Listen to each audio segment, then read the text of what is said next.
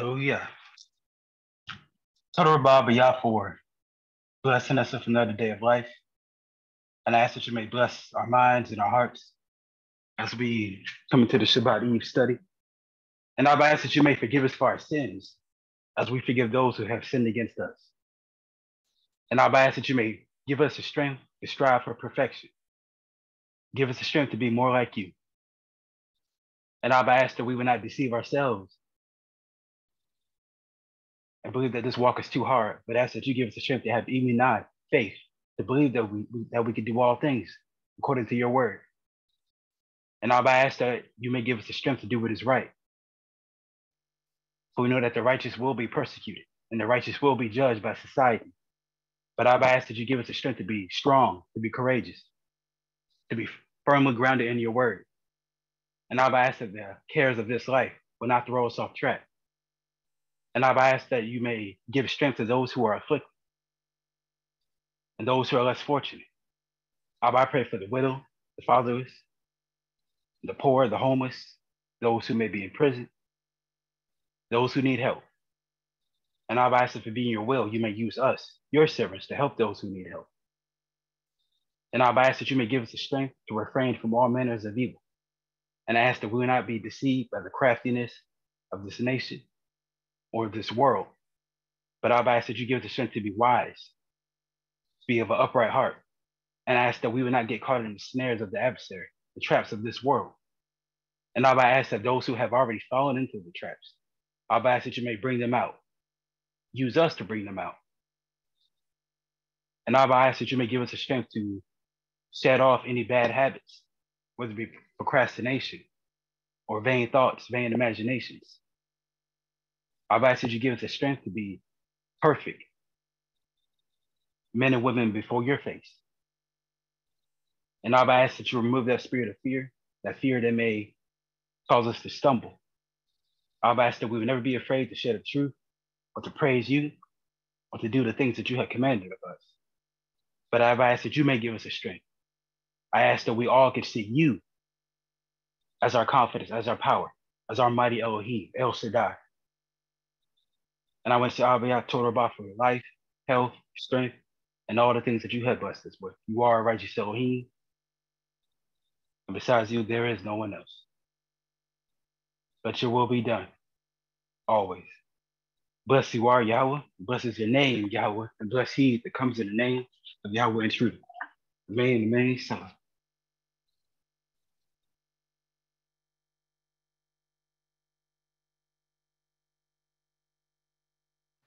Hallelujah, hallelujah. Toda, Toda, Adam for the open tefillah. Hallelujah. Amen. Shabbat shalom again, Miss Fakai. Um, let's get all things to pray in the Most High for getting us through the week. We had a blessed Unity Shabbat, blessed Shavuot. Um, I know um, the ones who couldn't make it, you know, apologize for the internet uh, connections that was going bad. For some reason, the adversary was blocking the Wi-Fi into Russian. But uh, all praise the Most High. We got we we, we had travel mercies there and back. So the Most High gave a travel mercy to everybody who traveled in and made it home safely. All praise the all praise the Most High for you all who were helped to get to have a you know a good feast, a good Shabbat. You know, told told out y'all for you all, all your hands, and then told out to all my imams, all my sisters, you know, our kitchen committee, everybody put their hands involved and make sure we had a awesome feast, awesome Shabbat. Um, let's just continue. So I open the floor for anybody who had a praise report. The floor is now open.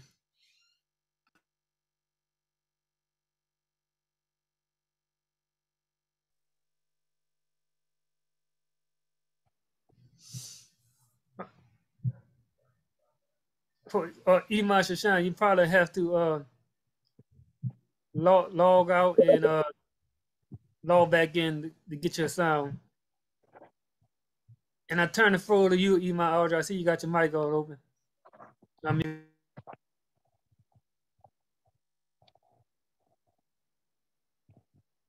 Shabbat Shalom. Uh, I just, as always, I, I praise Abba for another week. It's been a very cold week, and I praise him for keeping us as love, blessing, and protection, for safe travels for all those who were able to attend on Shabbat and for the feast. And I just say Toda Rabah that he's allowed us to usher in another Shabbat day. Um, I am so grateful this week because I have been able to spend time with family. And reason being, it, at one time, everything they scheduled was on Shabbat. And on the second day of this week, I was able to meet with my family out in the park. They had a, a, birthday celebration for one of my little cousins, and I was able to attend. Today was my aunt's 94th birthday, and she had a little gathering at six o'clock. And even though I had to leave early, I, I was able to attend. And I thought she would never stop thanking me for coming. And the thing is, I'm just so grateful because I enjoy being with my family and I don't want them to feel that I deliberately separate myself from them, but it's just that everything has always been on Shabbat. And then on the first day of this week, we will gather again. So I just say, Toda Rabah Abba for allowing me to spend time with my family. Hallelujah. Hallelujah. Hallelujah. Toda Iman for sharing that. It nothing like spending time with family. You know, um, we're losing a lot of our young. We're losing more young than our elders these uh, these times. And so, uh, as much time you can spend with family, spend as much time you could with family. Uh, even uh, our iPhone, I think there's Adon Mikael.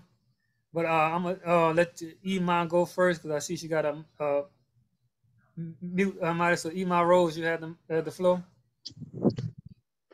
Shalom, shalom. Can you hear me? Loud and clear. Okay. I just want to give Yah praises for this Sabbath. I want to give him praises for this week. I just want to give him praise for the feast that was this past week. I really enjoyed the fellowship. I just thank y'all for giving me a chance to be with my family and my uh, grandson, which I hadn't seen in a while and my great grands. And it was such a beautiful Monday, you know, after the feast. You know, when we do well and obey him, he said he will return the ch- fathers back to the children and the children back to the father. And it made me know that when we pray and trust Yah, that he will do just what he said he was do. And that's to build up our faith, to continue to trust in him and to continue to seek his face. And I just want to say Toda Rabah for all things and everything. I want to say Toda Rabah for giving me a chance to just minister to people even today and on my job and how they are enjoying reading the Bible you know, and coming back the next day and then being excited and saying, I didn't know that was in there. And I didn't know that was in there. Not trying to show them my way, but to point them to the word of Yah. And it's such a, ple- a blessing, it's such a pleasure to just minister to Yah's people, to draw them by his spirit. And I just want to say, Toda Rabah.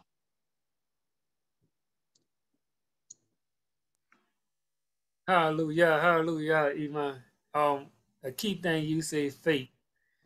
Um, this past Tuesday, our men's discussion study we had, uh, the less the topic was on faith, and you know the words say faith without action is dead, and the key thing about faith, you have to keep faith in the Most High.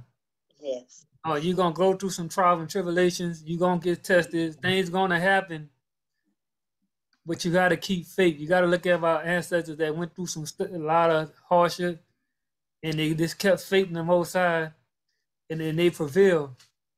Um, I shared my testimony on Tuesday about my faith with the Most High back in 2015, going through this.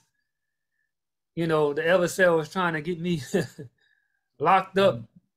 We, you know, and uh, for something, and I just kept faith in the Most High, and and the Most High got me through it. So it was it was a that was my worst trial, trial and tribulation going through all that in also processing out the military at the same time and the military trying to execute me. That is that was just so much stuff going on in 2015. And plus, that was my first uh coat also that year. I did with True Light. Uh, and man, that was just uh went through a hurricane and everything that year too. So just the faith we have with the most high, man, he will prevail, man. So never, no matter what you're going through, turn to the most high, keep faith in him and he will protect you and get you through it.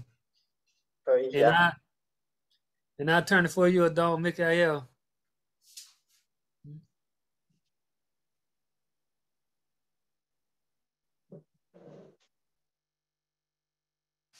Adon Mikael, if you speaking, your mic still muted. Shabbat Shalom, Shabbat Shalom, family. First, I would like to give all honor, all praise, all esteem, all glory to Abba Yah. And I would also like to um, acknowledge my mother.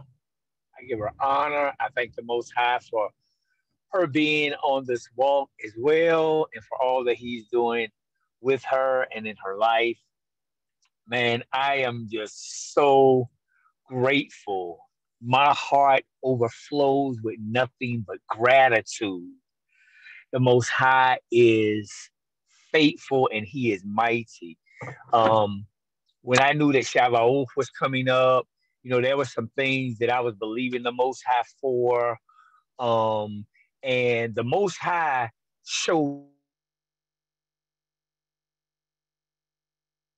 um, one of the things was that I, I said to the Most High, I was like, you know, if I'm gonna go to Shavuot to this feast, I'm not gonna go if you're not gonna meet me and you're not gonna send me back different than I came.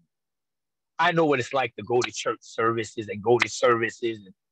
I said, if I go, I need to be changed. I do not want to come back the same way I went.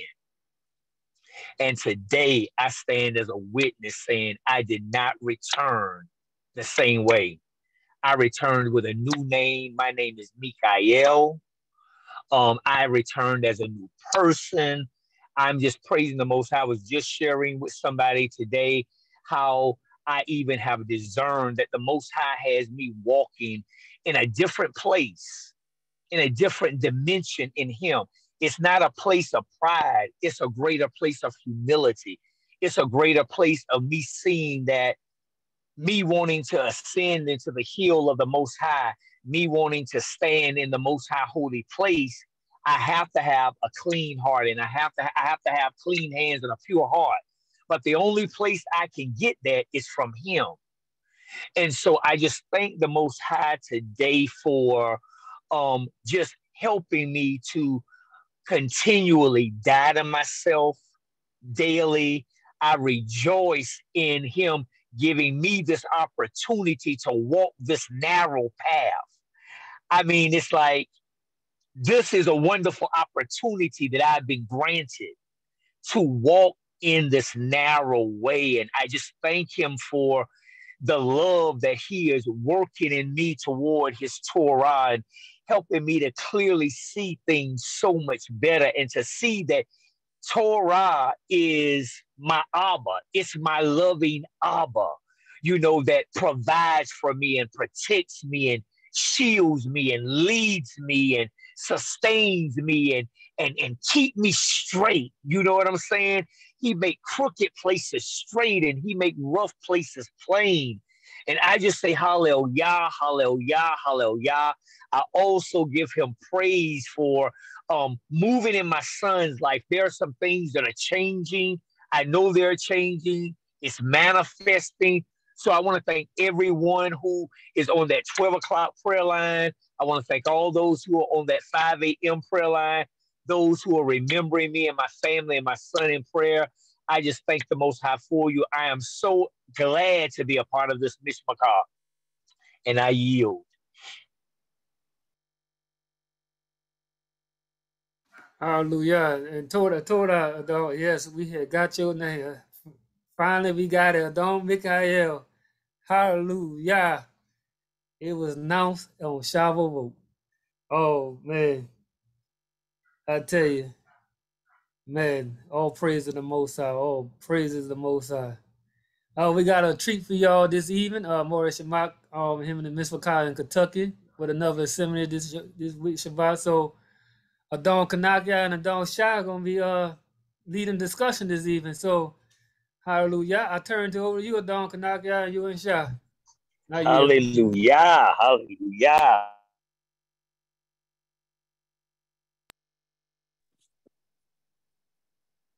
Shabbat Shalom, Shabbat Shalom, all praise Most High for allowing us to have another week.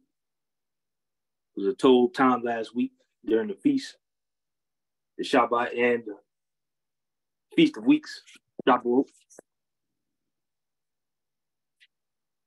So tonight, we'll be getting back to the, the portion of the Torah. So we'll be starting tonight with Shemot, Exodus chapter 24. Shemot or Exodus chapter 24. Uh, I'll read the chapter and then we'll open it up for discussion after we conclude with the chapter.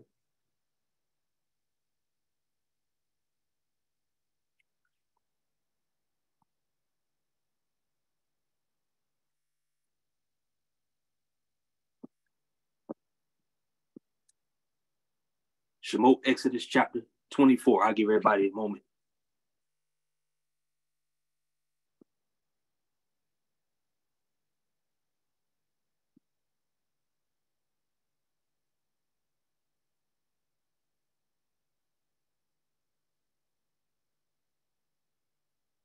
All right, Shemot Exodus chapter 24 from the top. And he said to Moses, Come up unto uh, unto Yah, you and Aaron, Nadab, Abihu, and seventy of the elders of Israel, and worship ye afar off. And Moses alone shall come near Yah. But they shall not come nigh, neither shall the people go up with them. And Moses came and told the people all the words of Yah and all the judgments. And all the people answered with one voice and said, All the words which Yah have said will we do. And Moses wrote all the words of Yah and rose up early in the morning and built an altar under the hill and 12 pillars according to the 12 tribes of Israel. And he sent young men of the children of Israel, which offered burnt offerings and sacrificed peace offerings of oxen unto Yah. And Moses took half of the blood and put it in basins, and half of the blood he sprinkled on the altar. And he took the book of the covenant and read in the audience of the people. And they said, All that Yah said will we do and be obedient. And Moses took the blood and sprinkled it on the people and said, Behold, the blood of the covenant which Yah have made with you concerning all these words. Then went up Moses and Aaron and Nadab and Abihu and the 70 of the elders of Israel. And they saw the Elohim of Israel, and there was under his feet, as it were, paved work of a sapphire stone, and as it were, the body of heaven in its clearness. And upon the nobles of the children of Israel, he laid not his hand. Also, they saw Elohim and did eat and drink. And Yah said unto Moses, Come up to me into the mountain and be there, and I will give you tables of stone and the law and commandments which I have written, that you may teach them. And Moses rose up, and his minister Joshua. And Moses went up into the mountain of Elohim, and he said unto the elders, Tarry ye here for us until we come again unto you. And behold, Aaron and Hur are with you if any man have any matters to do, let him come unto them. And Moses went up into the mountain, and a cloud covered the mountain, and the glory of Yah abode upon Mount Sinai. And the cloud covered it six days. And the seventh day he called unto Moses out of the midst of the cloud. And the sight of the glory of God was like a devouring fire on the top of the mountain in the eyes of the children of Israel. And Moses went into the midst of the cloud and got him up unto the mount. And Moses was in the mount 40 days and 40 nights. Okay, so I know that was not a long chapter, so we'll go ahead and open it up for discussion upon chapter 24.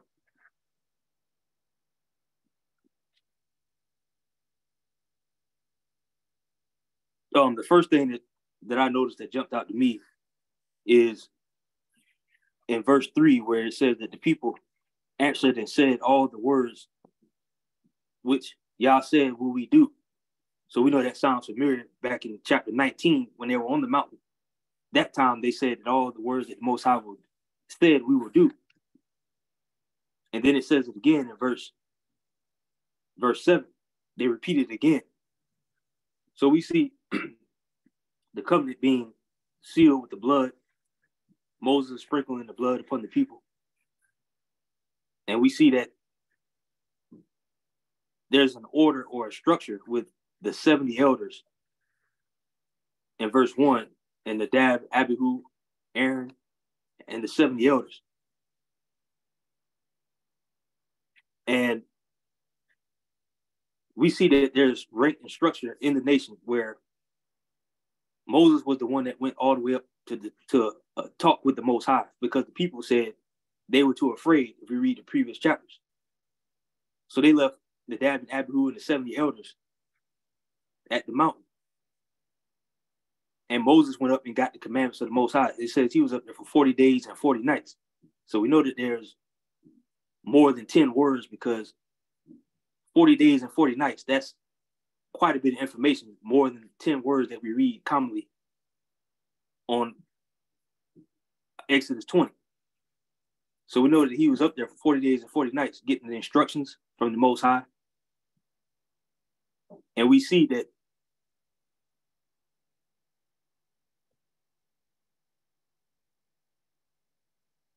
uh, does anyone have any uh, points to bring up thus far?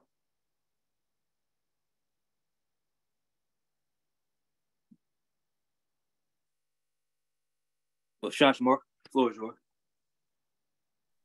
So, so, Cain, yeah, I was focusing on, um, I believe it's the first verse, first precept.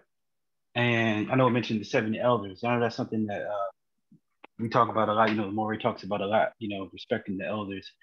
One thing I thought about, you know, imagine if the people didn't, you know, they didn't respect the elders. You know, the elders are the, you know, a portion of the people that the Most High called up. So if the Most High calls them up, you know, he wants them there.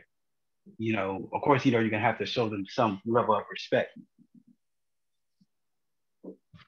That's something that I, I was uh, thinking about. Also, uh, I was thinking about the discipline of Moshe when it comes to doing the service of the Most High. You know, most High says he want it done, you know, a certain way. You have to do it that exact way. I think about, you know, the, the mistakes that I make in my daily life. You know, I know we all make mistakes. You know, when you're cooking or running errands, you know, paying bills, you know, you make mistakes. So that's something that I thought about. You know, you have to be focused. You have to be disciplined. You know, in life, especially when it comes to doing the service of the Most High. You know? And then, um, where is it? Verse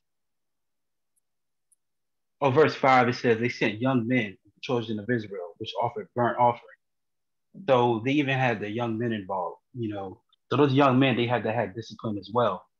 You know, that's something to think about. You know, those young men, they had to do it exactly the way the Most High wanted to do. You know, sacrifice has this way.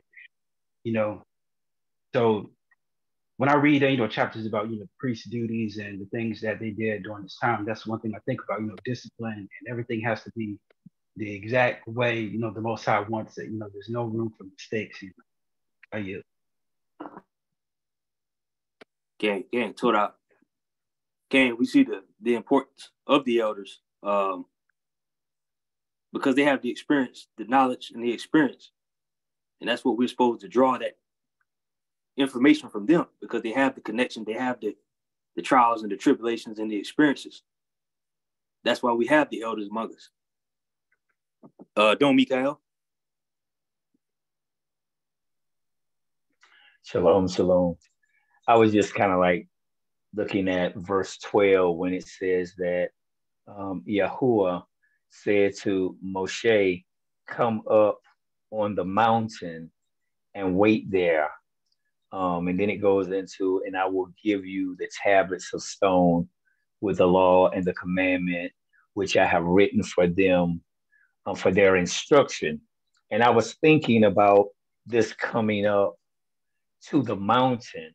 Because for me that's been like a motivation for me for me um, since hearing Baruch bring out a point um, at Pesach when he came out of Psalms 24, and he was saying in verse 3, Psalms 24, it says, Who shall ascend the hill of Yahuwah, and who shall stand in his holy place?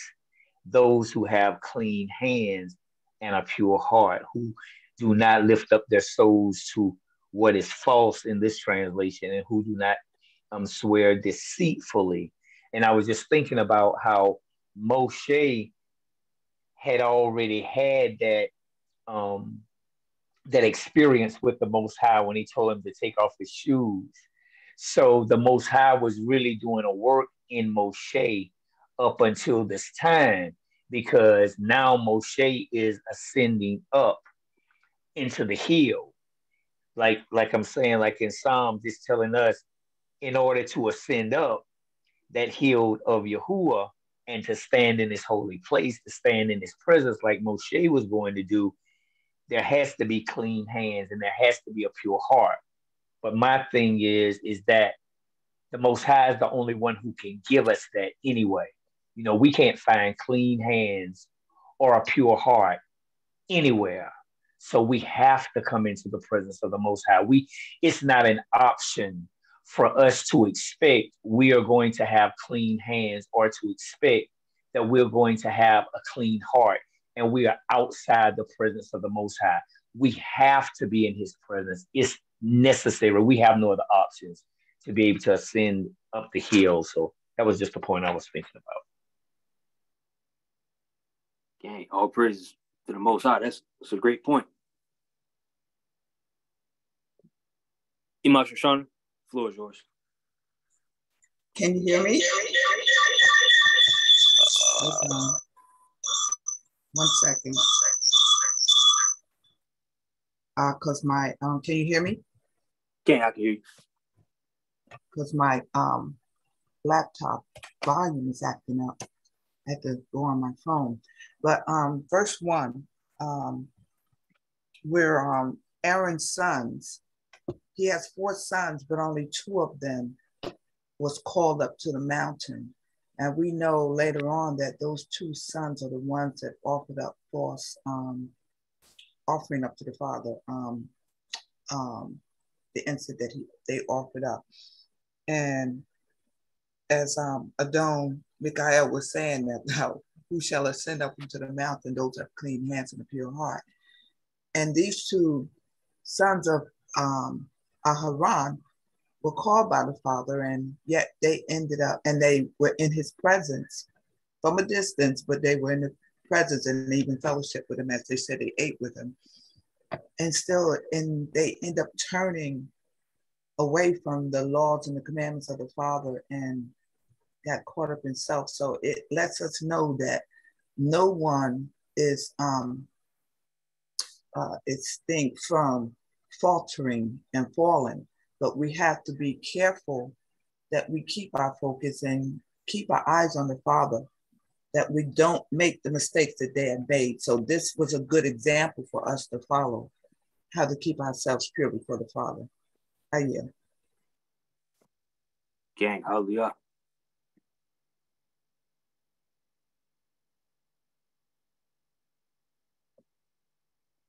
we look at um, verse 10, where it says, And they saw the Elohim of Israel, and there was under his feet, as it were a paved work of a sapphire stone, and as it were the body of heaven in its clearness. And then going along, tying in with uh, the Don Michael was saying, uh, Mikael was saying about the clean hands and the pure heart. The pure heart means to be clear or to be sincere, you know, or empty, meaning there's not anything clouded. So we have to make sure that we have that those clean hands and that pure heart, that we don't have any any cloudiness or anything that's covering our, our hearts, anything blocking us from coming unto the Most High in sincerity.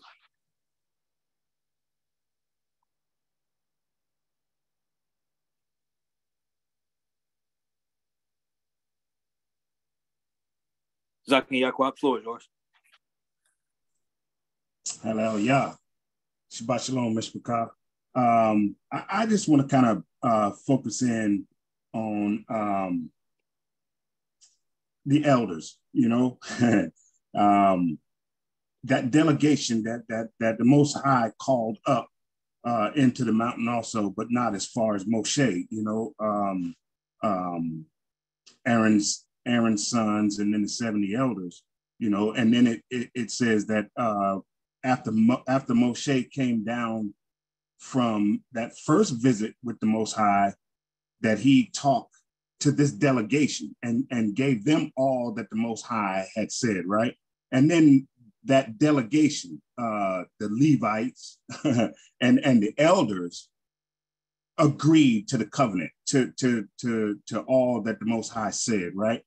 And then, you know, they they they celebrated, and then then now the book of the covenant is is um well the book of the covenant is there now as we see in, in the next couple of chapters. And then that's what moshe uh read to the whole congregation of Israel uh and, and then the whole congregation of Israel um said the same thing that that delegation of the Levites and the elders said that they whatever the most high commanded whatever the most high said um, that you've delivered to us, we will do, you know, and, and I think I'm just thinking on the on the part that that you know we see a lot in scripture that the elders are are quote unquote the, the gatekeepers you know what i mean? They they're, they're supposed to have the not only uh age but you know the the the experiences of life that that that they can apply to to these commandments, this way of life. you know what I mean? Like like um like it, it, these these elders already got their hands in the fallow ground. These these elders have already um you know uh decided and and and and weeded out the the good seed from the from the bad seed and all of that. So I think that when when the elders went up there in the mountain, um, that delegation um, it's so they could I don't know how to exactly word it, but but they they needed to understand um, what this this Torah is going to do, what this this new lifestyle is going to be for all the children of Israel, and they agreed to it, you know. And so now, you know, like when when we read that the elders, if the congregation makes a mistake, the elders have to put their hand on on the head of of the bull and and slaughter the bull you know because they they they're supposed to be the the the experience and the gatekeepers um, for the nation you know and i think that's significant in this in this chapter also. So that, that's just what i wanted to bring out that that you know it's it's not just that the most high decided to bring up the elders uh, and and and aaron and, and his sons I think it was very significant that that the pillars of the of the nation get it um, and and get it uh, with no distractions. They they were separated from from the rest of the congregation and and they were taught, so to speak, in, indoctrinated into this new culture, this new lifestyle that Most High wants for the whole nation of Israel. And then the elders, um, you know, are, are now responsible to the whole congregation to make sure that, that the whole congregation understands based on their experience this new Torah, this this new uh, way of life for Yisrael. You know, and I know it's not new Torah. Torah principles have been in the earth since the beginning, but it's codified now into what we call the law Torah. And I and I think that it's very if we miss the point about about the responsibility of those elders, we might miss out on a lot and it might explain some of the reason why why we're in the position we're in um, now, and as we look back through the history of our people. So I'll, I'll yield at that. I, I, I, that just jumped out at me.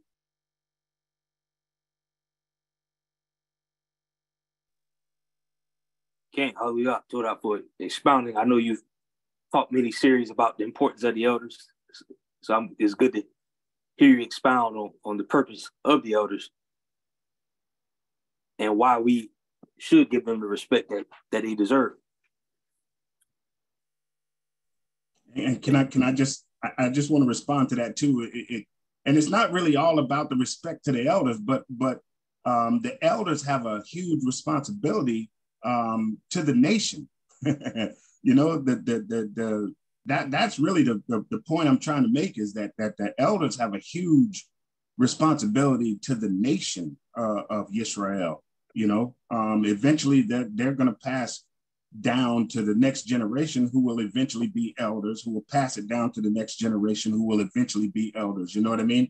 So it's it's it's a huge responsibility, and I and I think if if if if our ancestor elders, uh, the majority, would have taken that responsibility a little bit more seriously, we we might not have wound up um, throughout history and and currently where we are. And if we could look at our our elders today. I'm not just talking about the elders that know they're Israel, but I'm just talking about elders in general. Um, you know, I, I and I don't mean to take up the whole platform, but but I mean the responsibility because you know I, I have elders in my family, my aunts and and and and uncles, you know, and I say uh, yes, ma'am, and and and yes, sir, and they were like, ah, don't call me sir, don't call me ma'am. You know, that's that's that's that's uh shirking their responsibility a little bit. You know what I mean? Or or or they see the the, the youngsters going off and they won't make a correction on that. And and I and and I think that's why the Most High called those elders up with that with the with the with um Aharon and and his sons to say, look, man, this is this is this. I'm putting it on you. I'm putting it on you. You guys have the experience. You know when I say fallow ground, you know what that feels like because you've already been through it. You know when I say uh, um, you know the briars and and and and the thickets and and all of that. You know what that that is. So um, I'm putting it on you to make sure this this culture, this Torah, is is understood to the to the next generation coming up. And that that's the point I was trying to make. Hello, y'all. Gang, hallelujah, praise. And we can see some of the uh, the delegation in verse 13 and 14 where it says uh, moses rose up and his minister joshua and moses went up into the mountain of Elohim. And he said to the elders tarry ye here for us until we come again to you. And behold aaron and hur are with you. If any man have any matters to do let him come unto them. So we can see the uh the delegation here where they they're saying if anybody has any issues, come unto them because they have the experience in these matters and how to handle these issues. While, while Moses and Joshua are going up into the mountain. Don't, Mikael, the floor is yours. Shalom again. I, I, was just wanting to land back on um, what uh, Zakim was saying um, because I was thinking about how, like, even in this time time frame of this time period of this era that we're in you see that a lot of the elders like even individuals that are older than myself for some reason it's like uh, this era this time is like no everybody wants to be young. It's like you got elder men, you know, they sag in their pants. I mean, like these like are elder elders, people that would be considered elders, you know, um, or you have like women that are like actually great grandmothers, you know, they're they're looking at themselves a lot different now. They're saying that like um, you know, the age, the age, the age is a difference. Like they're saying like 60 or 70 is no more you know, like, oh, that's a young age, you're just beginning to live. So it's like all of this different indoctrination in the minds of the people as well. It's like, like he was saying, nobody wants to take responsibility. Everybody just wants to be like a kid or young. Like sometimes you may go somewhere and you may see like a aged or seasoned person, I'll say, and they may be dressed like they are about 30 or 20 years old and you just kind of like looking like wait a minute so it's kind of like there's just some kind of spiritual shift or something but I was just wanting to bring out that point that it's like just not wanting to take that responsibility that Zach Zachariah was saying. I yield. Dang, hallelujah. Good point. Good bring up. Don't Shashamar. Floor yours. Yeah, and I was thinking about, um, you know, we were reading about, you know, Aharon and his sons and seven elders and Moshe and uh, Joshua. And I was thinking, you know, there are levels in the walk with the Most High, yeah.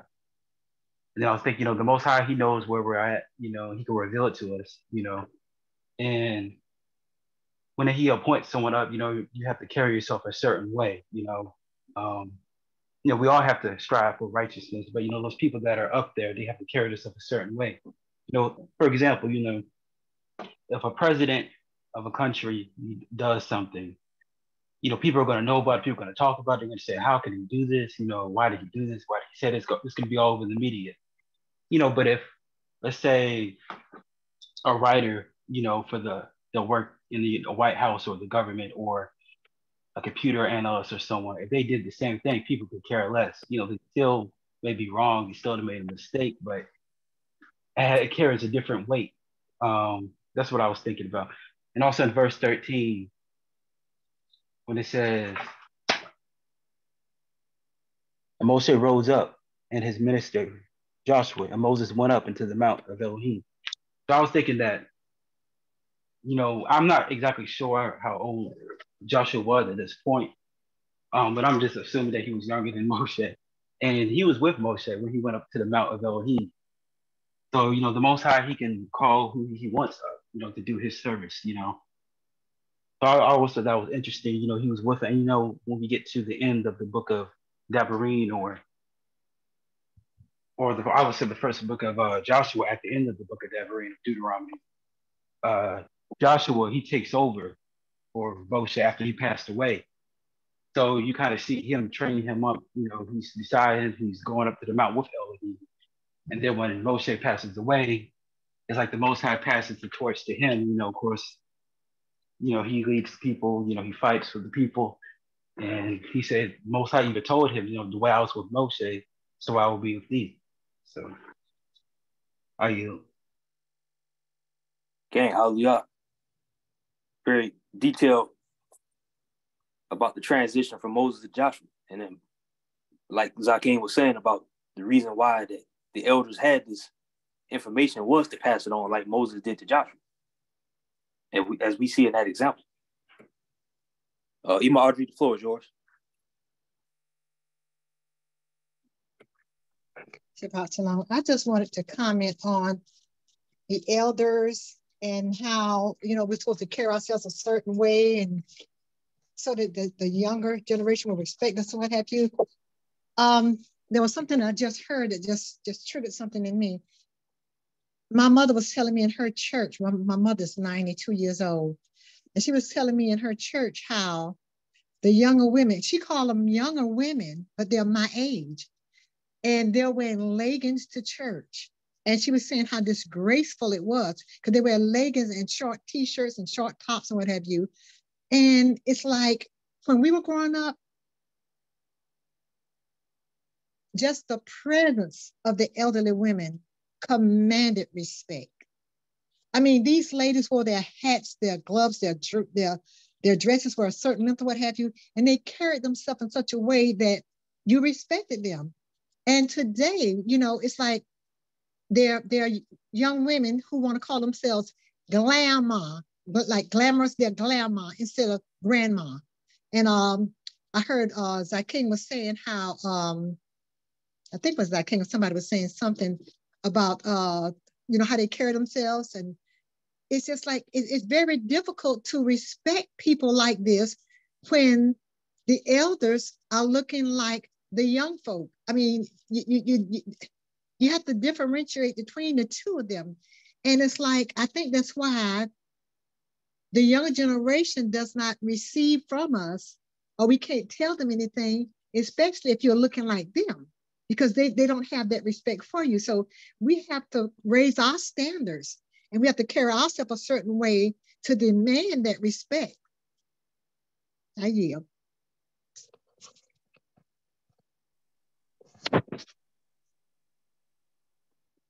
Absolutely, Ma. We definitely got to get back to that.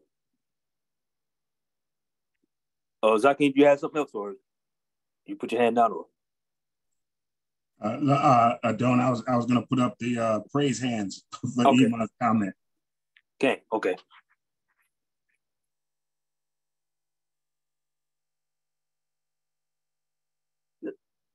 All right, so we look at verse uh, 15, where it says, Moses went up into the mountain, and a cloud covered the mountain. And the glory of Yah abode upon Mount Sinai, and the cloud covered it six days. And the seventh day he called unto Moses out of the midst of the cloud. And the sight of the glory of Yah was like a devouring fire on the top of the mount in the eyes of the children of Israel. So, as Maury Group mentioned last week, we talked about in the name of Yah, and it mentioned that there was no physical description of the Most High. When you read about the Most High coming down, it was in a cloud or in a fire. You don't read a, a physical description of what the Most High looked like, so that the people would not be caused to worship that instead of the actual Most High. So we see here that the Most High came down and the cloud covered the mountain, and then it came down like fire. So just to bring that out again, as it was mentioned last week. Uh, does anyone else have any other comments on this chapter before we go to the next one?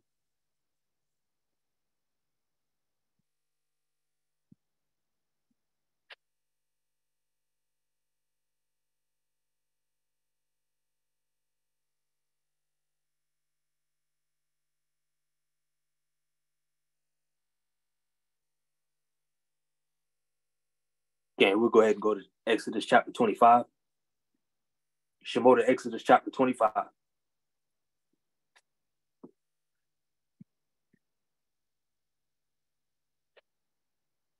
And Yah spake unto Moses, saying, Speak unto the children of Israel that they bring me an offering of every man that giveth it willingly with his heart. You shall take my offering. And this is the offering which you shall take of them gold and silver and brass, and blue and purple and scarlet and fine linen, and goat's hair, and ram skins dyed red, and badger skins and shittim wood, oil for the light, spices for the anointing oil, and for sweet incense, onyx stones and stones to be set in the ephod and in the breastplate, and let them make me a sanctuary that I may dwell among them, according to all that I show you, after the pattern of the tabernacle and the pattern of all the instruments thereof, even so shall ye make it.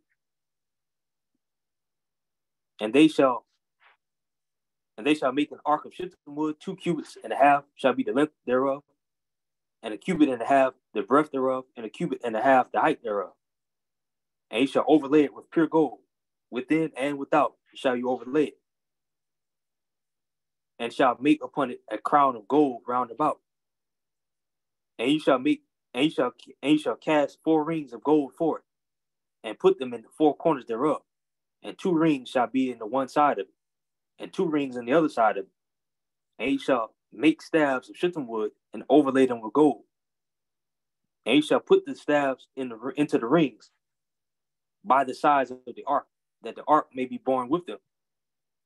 The staves shall be in the rings of the ark. They shall not be taken from it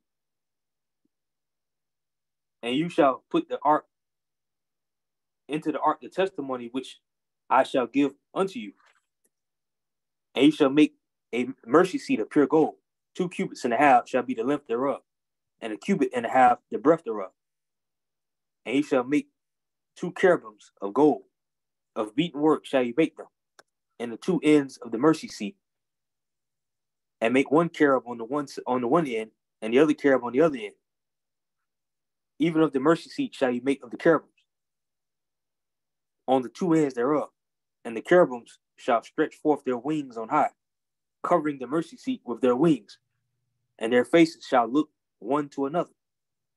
Toward the mercy seat shall the faces of the cherubims be, and he shall put the mercy seat above upon the ark, and in the ark you shall put the testimony that I shall give you, and there I will meet with you and I will commune with you from above the mercy seat, from between the two cherubims, which are upon the ark of the testimony of all things which I give unto you in commandment unto the children of Israel.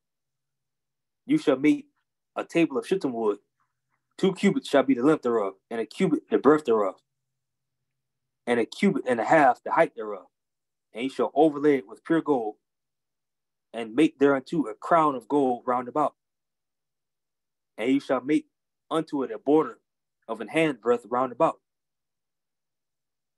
And you shall take, and you shall make a golden, uh, and you shall make for it four rings of gold, and put the rings in the four corners that are on the four feet thereof. Over against the border shall be the, the rings be, places for the staves to bear the table. And you shall make the staves of shittim wood and overlay them with gold, that the table may be borne with them. And he shall make the dishes thereof, and spoons thereof, and covers thereof, and bowls thereof, to cover withal. Of pure gold shall he make. And he shall set upon the table showbread before me always. And he shall make a candlestick of pure gold, of beaten work. Shall the candlestick be made?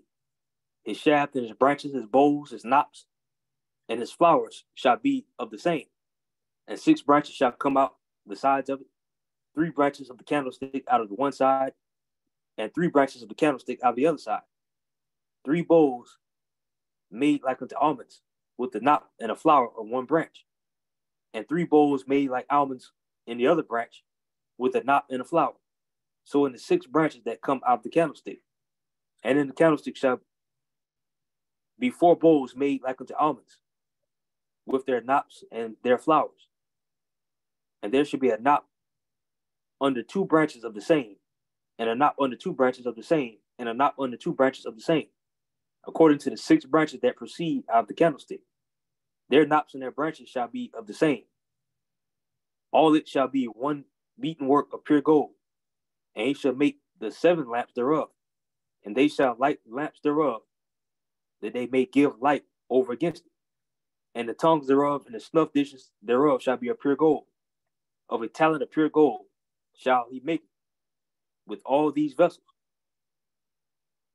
And look that would you make them after their pattern, which was showed you in the mount.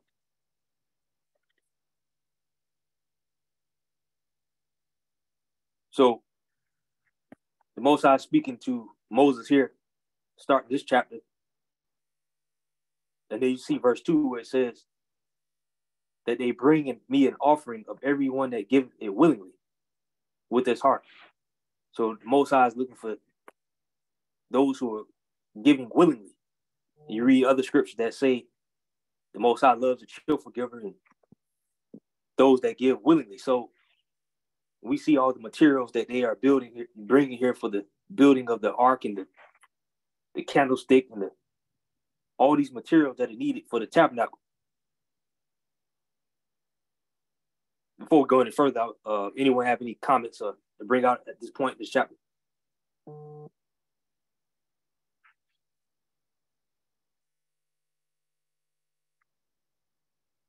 Don't, Mikael. I'm just looking right here where um, it's talking about this offering. Um, it says, and Yahuwah says to Moshe, Tell the Israelites to take for me an offering from all whose heart prompt them to give. You shall receive the offering from me. But then he goes on to say, This is the offering that you shall receive from them. He's specific. He says, This is the offering you shall receive from them. And it's like he's listing the importance of the offering. He starts with gold and silver and bronze, and he continues to go down. But when I think about this, I begin to think about okay, so we're talking about Israel. We know that they were in captivity because this is their time, they're coming out, they've come out. But back here in Exodus chapter 12, we see that before they left, it says in verse starting at 35, it says the Israelites had done as Moshe told them, they had asked the Egyptians for jewelry, of silver and gold and for clothing. And Yahuwah had given the people favor in the sight of the Egyptians so that they let them have what they asked. And so they plundered the Egyptians. So I was thinking about how, you know, I mean, think about it. You are in captivity and you got a chance to get their stuff. And so you were asking them for this gold and all these jewels and all of this, but you going out into wilderness. I mean, it's like, well, what am I going to do with all this treasure, you know, out in the wilderness? But once they get out here in this place, it's like the Most High says, okay, now this is a part of them being tested. This is a part of that, me trying them. I've brought them out. I've granted them such favor to get all this stuff. This is, I'm the provider. I've given them all this stuff. Now I'm going to get them out here because they can't do nothing with it. They can't pawn it. They can't trade it for nothing better. They all out here in the same bohu together with all this stuff. What are they going to do with it? So now I'm gonna see how much they are willing to offer to me um, that I might be able to create a tabernacle for myself to come and actually dwell among them. So I, I don't know. I was just thinking about that. I yield. Gang, hallelujah. Throw it out for that. That breakout. Shashamar, do you, you have anything? Floor is yours.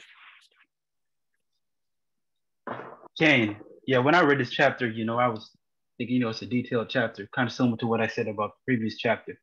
You know, it's very detailed. You know, the Most High likes things in a specific way. You know, with the gold, you know, the menorah, the candlestick, and you know, the wood and cherubims. He likes things, you know, a certain way. You know, the Most High likes. He likes, you know, beautiful stuff. And another thing I was thinking about, you know, when we get to chapters like this, there's a lot of detail. And sometimes one thing I think about, how do I apply this to life, you know, today? And then sometimes, you know, we might read a chapter where we just names, you know, genealogies and things like that. And I think about, well, how does this, you know, how can I apply this to my life? You know, what can I do with this information? And I thought about um, two precepts. Um, so it's First Timothy chapter three, verse sixteen to seventeen. So again, it's First Timothy chapter 3, verse 16 to 17. And it says, All scripture is given by inspiration of Elohim and is profitable for doctrine, for reproof, for correction, for instruction in righteousness, that the man of Elohim may be perfect, thoroughly furnished unto all good works. So that's something that I try to keep in mind whenever I read any chapter. You know, there's always something you know, the Most High wants us to see. You know, He put it here for a reason. You know, so and when I read this, I just think about the detail of the Most High. You know, the way He wants us to do things a certain way, and I also see this. You know, where is it? Verse twenty-two. It says, "And there I will meet with thee, and I will commune with thee from above, above the mercy seat, from between the two cherubims, which are upon the ark of the testimony of all things which I give in the command unto the children of Israel. So the Most High, you know, He's telling them to do these things that He's telling going to meet with them. So I see that as like a father, you know, getting his household in order, saying, "Hey, you know, I want you to set the house up this way. I'm gonna come back. You know, I want this done. I want this done. I'm gonna go to work. You know, I'm gonna when I come back, I want things set up this way. You know, and then when I get back, we're gonna eat. We're gonna do this. But I want things this way. You know, I have some people, you know, in charge, but you know, come back. When I come back, I want things done this way. So that's that's the way I see it in this chapter. Are you? Gang, the Most High is very precise and very detailed and very organized with how he likes things done, down to the exact measurements. Second Yaquab, floor is yours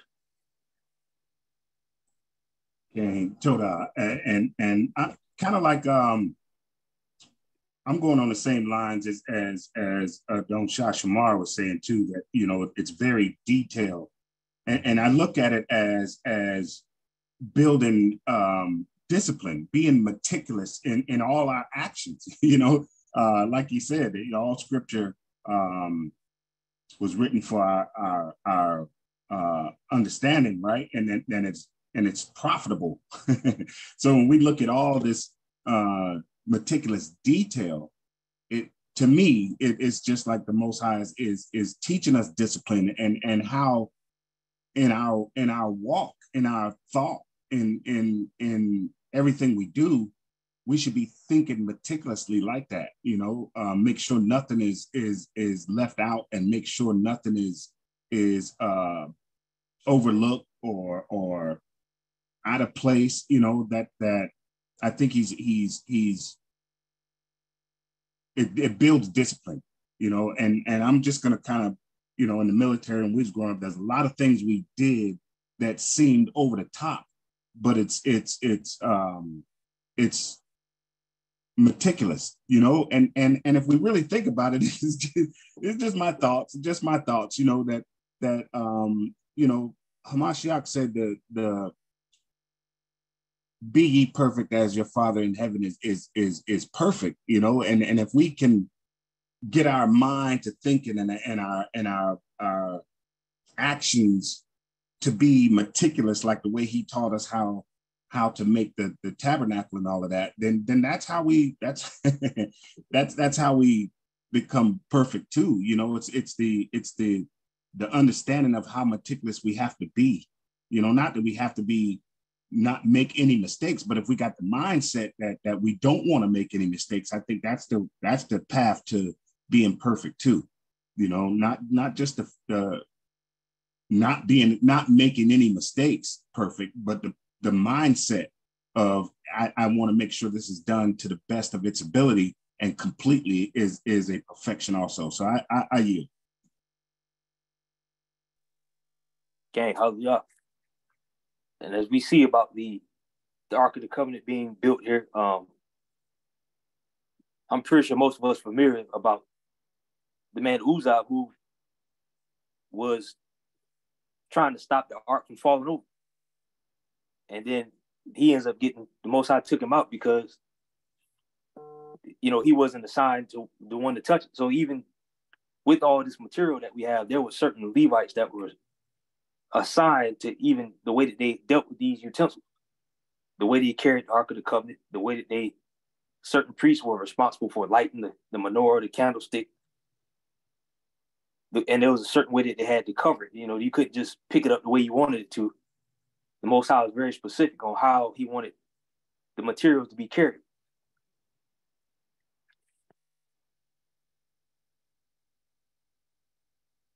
Does anyone else have any other points thus far?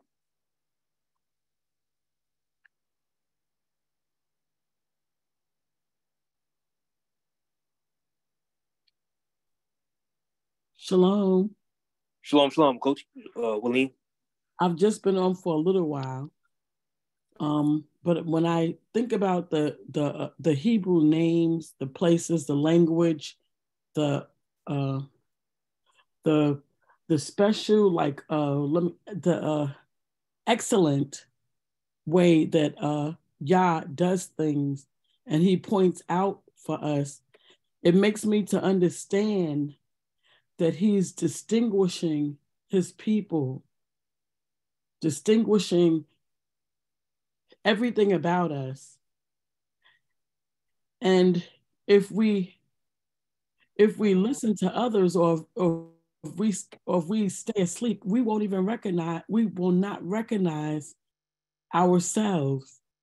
When I look at the names, uh when I look at the names of the, you know, it seems like when the when the when the Bible was changed, or when the scrolls or whatever it was at that time were changed, um, all the names could not be changed.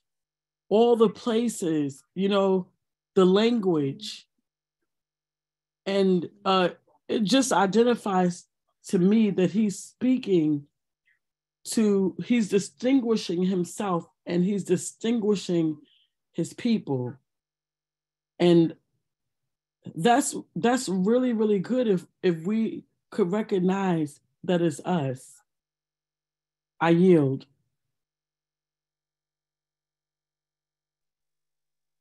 Okay, hallelujah.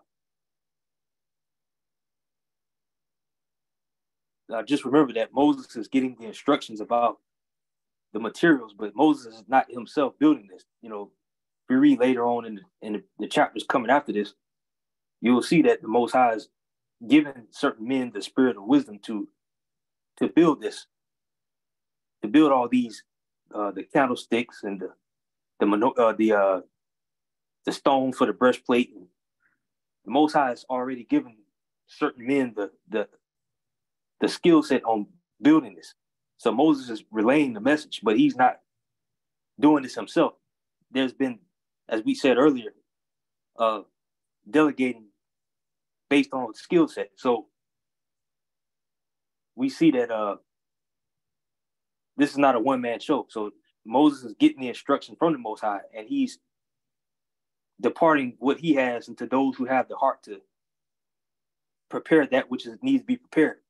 So all the people are bringing forth this, and as it says, every joint supplied. So whoever has the skill set to do it, the Most High will bless them with that with the proper tools to build them, to build His kingdom. So I just wanted to bring that point out. Um,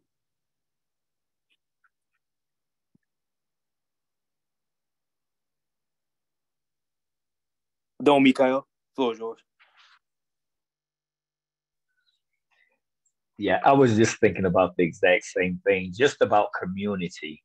You know, every there were there were different people doing different things. I guess I was thinking from um like the mindset of all the fabric that was involved in the tabernacle. You know, they used a lot of fabric. Um, and so all of that, putting that fabric together and making all the little Eshashamar, like Zakim talked about, um, you know, all the little intricate parts and all the details and all the artistry. You know, this place was absolutely beautiful. Um, and you probably, if you're if you're in the wilderness, you probably could see it like glittering or something from far, far away because of all the colors and the way the sun would hit the the fabrics and the colors. So this was like every there were various components involved in this, and I was just thinking about out of First Corinthians chapter 12, verse 4, it just talks about in this translation, it says, Now there are variety of gifts, but the same Ruach HaKodesh, and there are a variety of services, but the same um, Adonai, and there are varieties of activities, but it is the same Elohim who activate all of them in every one. So it's just the most high's wisdom. I was thinking about Moshe, like you said.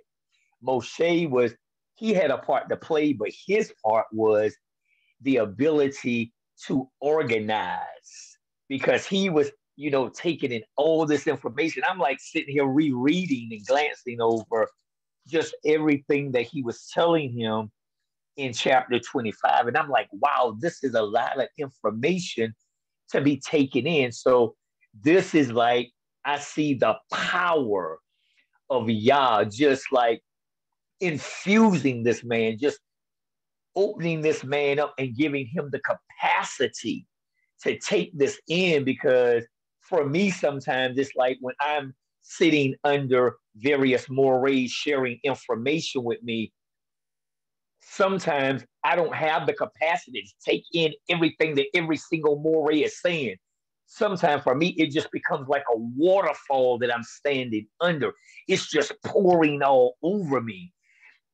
But sometimes it's like I'm opened or I'm stretched where I can take in large amounts of certain things that the Most High is trying to give me. So it, it was just really amazing me to just be able to kind of like get a visual of this great power of the Most High, kind of like pouring all of this information in this man, and then him having the capacity by the Ruach HaKodesh that's helping him to um, to take all this information in and then to relay all of this information back out. It's just absolutely amazing. I yield.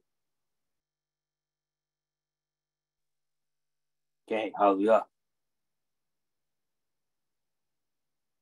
Imam Shoshana, floor is yours. Shabbat Shalom, Mr. Carr. Um, my mind is going a little deep here. I'm looking at the ark that was made of acacia wood and then overlaid with the gold inside and out. And what was placed inside this ark um, uh, eventually. And I see how it reflects us, how we are the vessels of Yah, made from the earth. And he said that we shall come forth as pure gold. He's purging and cleansing us that we may come forth as pure gold. And in us, he is putting his word. He is putting, he's budding us into the vessels he intended us to be. So I look at this ark and I see us and how the Father wants us to be. I yield. Hey, hallelujah to that, to that bring up. E. Marjorie, floor is yours.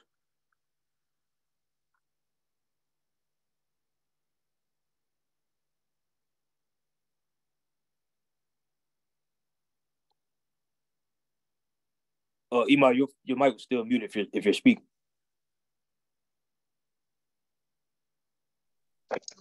Um, I just wanted to reiterate something that you had mentioned in verses 14 and 15. You know, the Most High left nothing undone. He covered everything, every detail. And when he said that the staves should always be with the in the rings, they shall not be taken from it. He covered everything, even in how he wanted it, wanted the ark transported. Therefore, there was no reason for anyone to touch it or what have you, or to carry it any other way except for the way that he instructed them to carry it. And that just brought to memory how this book is full of instructions to us.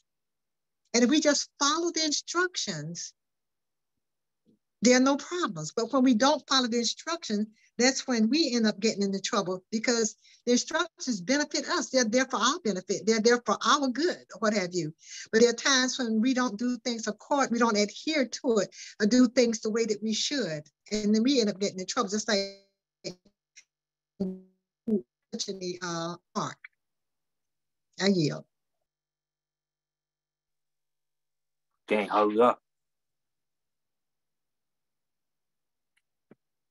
If we see in verse, uh, verse 17, where it says, You should make a mercy seat of pure gold, two cubits and a half shall be the length thereof, and two cubits and a cubit and a half shall be the breadth thereof. And he should make two cherubims of gold, of beaten work shall he make them, in the two ends of the mercy seat. So we know about the mercy seat uh, was when the Most High would communicate with the with the high priest at the time, the sons of Aaron, once a year on atonement. So when atonement comes around, when we read the scriptures about the mercy seat, we see here that it's being the measurements of the mercy seat here. When the priest would go into the, the holiest of holies once a year, first for his own sin and then for the sins of the people.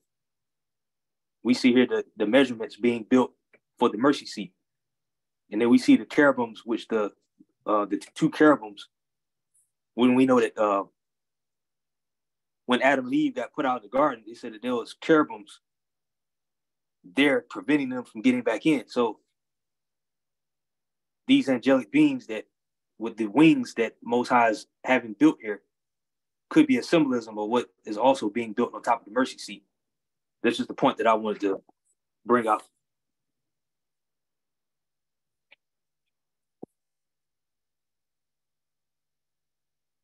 And then we see at the the end from 31 down to the end, this is where we get our menorah, the seven stick the seven candlestick menorah from. Which you see us lighting the menorahs. We see a lot of us have menorahs. This is where we get the idea of the menorah in in these verses here. Does anyone have any any other points to bring up before we move on to chapter 26?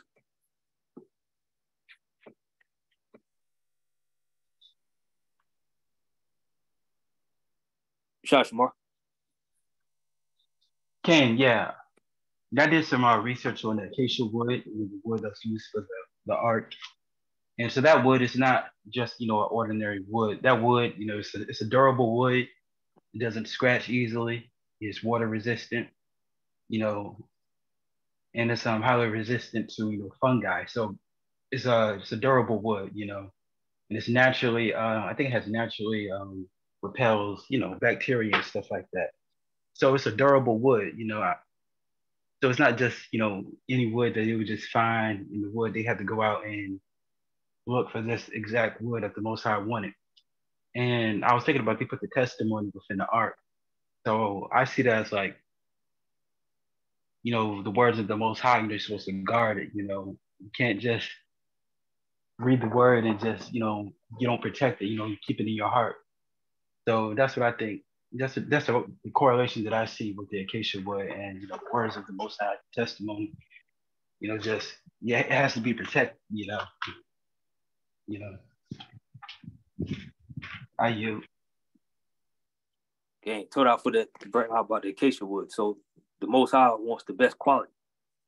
You know, acacia wood is good quality wood, and just like this pure gold that we read about throughout, throughout the chapter, most High wants the best material.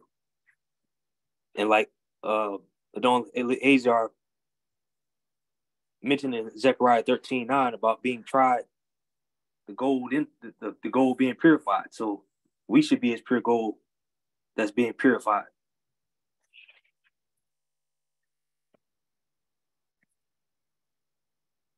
If no one else has any other points to bring out of this chapter, we'll move on to 26. Uh, Zaki and Yakwa, floor is yours. Canada, I, I just wanted to kind of uh, point out, and we probably already know it, um, that that uh, mercy seat, you know, where he told Moshe that, um, you know, that's where he'll com- commune above the mercy seat between the cherubim, you know, um, and about, uh, you know, the commandments that he'll give to to him to give to the children of Israel, and that that mercy seat is is kapareth, in, in Hebrew, and, and the root word is kapar, you know, and, and that's the same root word as Yom Kippur, you know, that uh, the Day of Atonement. So, you know, it's it's it's. Uh, I just wanted to kind of bring that out that that's you know that mercy seat is where um, you know, and then on Yom Kippur they go in uh, to plead, um, and the Most High said He will forgive the nations sins you know? So I, I just wanted to kind of bring that out that that um that mercy seat. Okay hallelujah.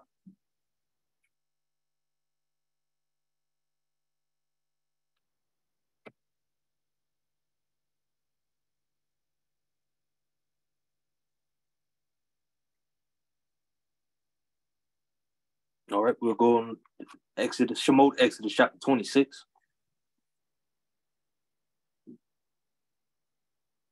Moreover, you shall make the tabernacle with ten curtains of fine twined linen, uh, and blue and purple and scarlet, with the cherubims of cunning work shall you make. The length of one curtain shall be eight, 28 cubits, and the breadth of one curtain four cubits. And every one of the curtains shall have one measure. The five curtains shall be coupled together, one to another, and another five curtains shall be coupled one to another. And you shall make loops of blue upon the edge of the one curtain from the selvedge of the in the coupling. And likewise shall you make in the uttermost edge of another curtain in the coupling of the second. Fifty loops shall be shall you make in one curtain, and fifty loops shall you make in the edge of the curtain. That is the coupling of the second, that the loops may take hold one of another. And he shall make fifty tacks of gold and couple the curtains together with one tack with the tacks, and it shall be one tabernacle.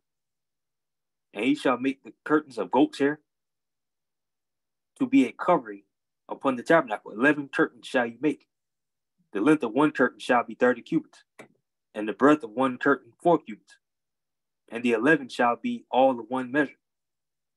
And you shall couple five curtains by themselves, and sixteen by themselves, and shall double the sixth curtain in the forefront of the tabernacle. And he shall make fifty loops on the edge of the one curtain that is outmost in the coupling, and fifty loops in the edge of the curtain which is coupled the second. And he shall make fifty tacks of brass, and put the tacks into the loops, and couple the tent together that it may be one.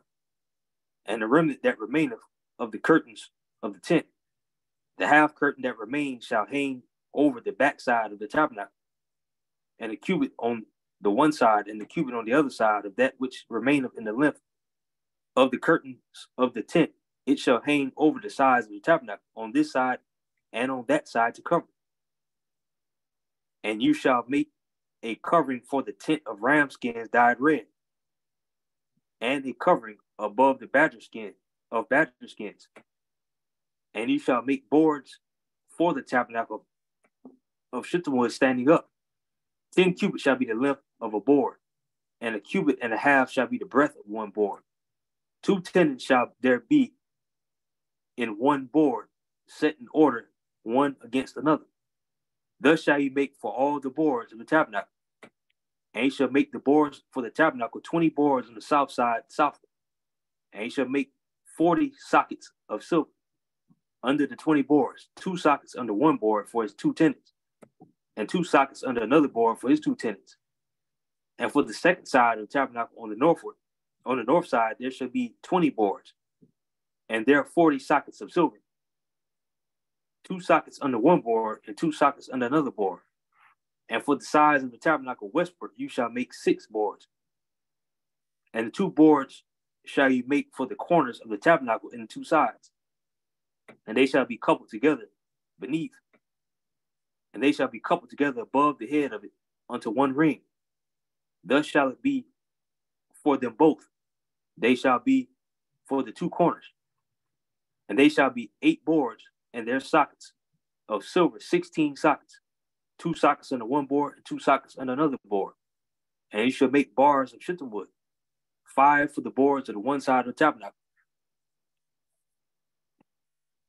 and five boards for the, the other side of the tabernacle, and five bars for the boards of the side of the tabernacle for the two sides westward. And the middle bar in the midst of the board shall reach from the one end to from the end to end. And he shall overlay the boards with gold and make their rings of gold for places for the bars. And he shall overlay the bars with gold. And you shall up the tabernacle according to the fashion thereof, which was showed you in the mount. And you shall make a veil of blue and purple and scarlet and fine twine linen of cunning work. With cherubim shall it be made. And you shall hang it upon four pillars of shittim wood overlaid with gold. Their hooks shall be of gold upon the four sockets of silver. And you shall hang up the veil under the tacks, and you shall that you may as bring in thither within the veil the ark of the testimony, and the veil shall divide unto you between the holy place and the most holy. And you shall put the mercy seat upon the ark of testimony in the most holy place. And you shall set the table without the veil and the candlestick over against the table on the side of the tabernacle toward the south. And you shall put the table on the north side. And you shall take and you shall make the hanging for the door of the tent of blue and purple and scarlet and fine twine linen, wrought with needlework. And you shall make for the hanging five pillars of shittim wood, and overlay them with gold, and their hooks shall be of gold. And you shall cast five sockets of brass for them. So we see here a lot more very meticulous details, precise, a lot of uh, royal, beautiful colors. And we see the thing that caught my attention the most was about this curtain. There's a veil between the holy and the most holy place. So as Zach just brought out about the, the mercy seat, they would put the mercy seat in the most holy place. And this is where the priest would go in once a year behind this veil. He could just go in anytime he wanted to. He, he only had he only had one chance a year, and that was the Day of Atonement, as uh, Zakian had brought out. Uh, do anyone have any points to bring up this far?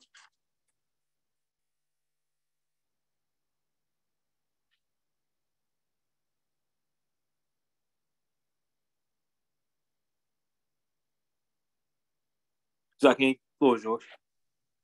Hey, uh, it, it might sound a little little uh, trivial too, but I, I kind of look at it too as as you know getting a glimpse at, at the at the most highest taste. You know what what he likes. You know that's that's uh, a lot of fine details, some fine materials, and and and all of that. You know, it kind of gives us a, a, insight on on our Abba uh, his taste and and things he he likes too. So I, I mean, that's just kind of like something that kind of stood out to me too. Man, this is this is a lot of um, you know uh, how can I put it um, fine material. you know what I mean? It's not just uh, run of the mill material. This is this is fine, beautiful um, material, and it kind of gives me a glimpse at, at, the most highest taste. You know, and and and I think um, we're supposed to have kind of like that same taste. You know, we represent the Most High, so you know our garments, um, you know, uh, the way we we appear, you know, is is a representation of, of the Most High too. So I, I just that kind of stood out to me that the Most High has has has uh, excellent taste. you know, I you. Gang, hallelujah.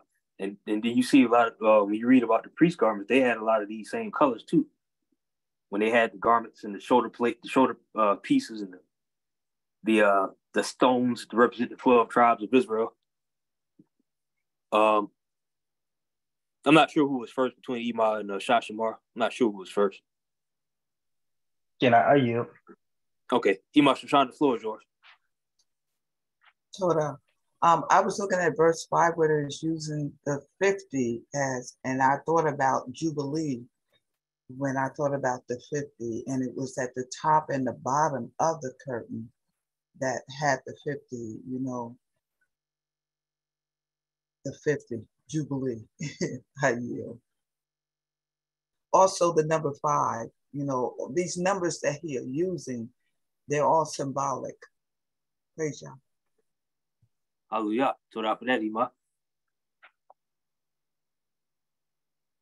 Uh, Shashamar, floor yours.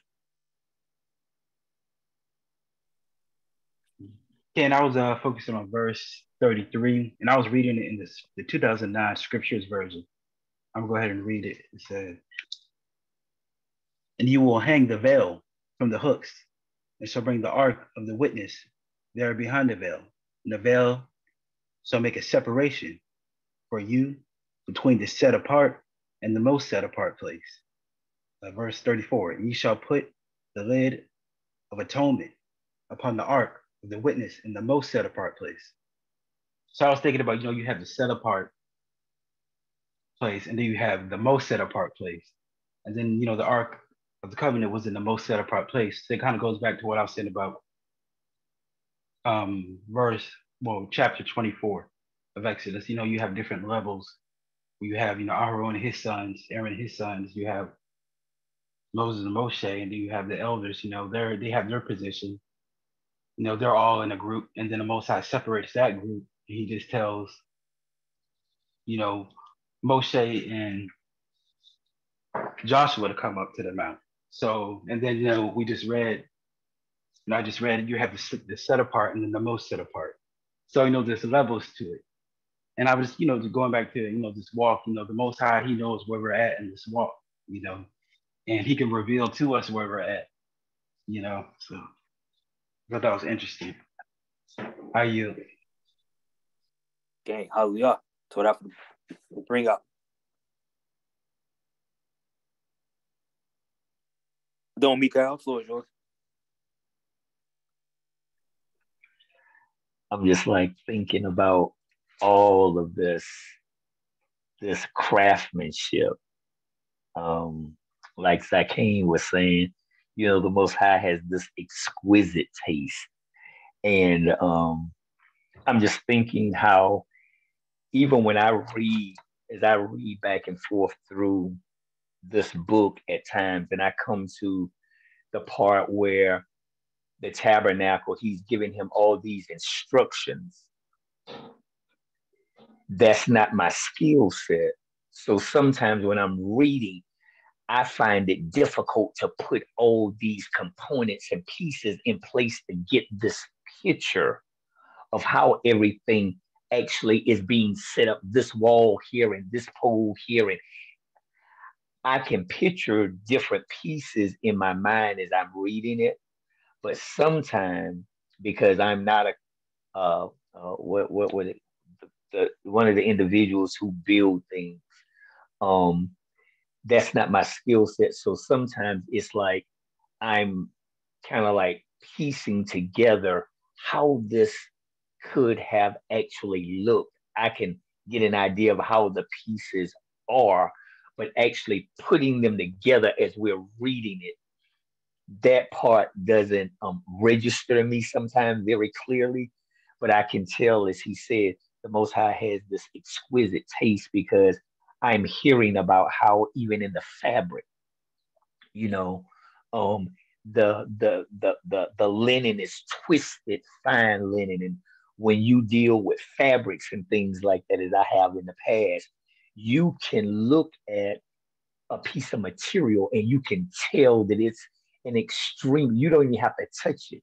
You can just look at it and you can tell how um how expensive a piece of material is. Um, and so just all of those things. but what also stood out to me is verse 30, because he says, he says, then you shall erect the tabernacle according to the plan for it that were that you were shown on the mountain. So Moses also saw like a plan, and I I'm just using the term like a diagram or like uh, the blueprint.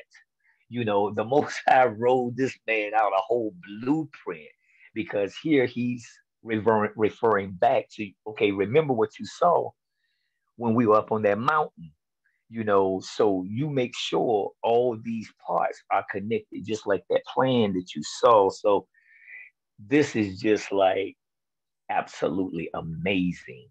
Um i yield can't hurry up and, and just remember moses was in the mountain 40 days and 40 nights you know he was getting all this information too about all the the details and each twist and turn and how many times you're supposed to cut it this way and the colors and the type of skin. He was getting all these instructions in those 40 days too. So it wasn't just the the the uh, commandments. It was also these instructions for how to build the tabernacle. Just wanted to highlight that. You know, just like you said, uh, Adon Mikael about how he had to remember all these details. You know, I'm just trying to picture it in my mind how it would look without actually having seen it already. You know.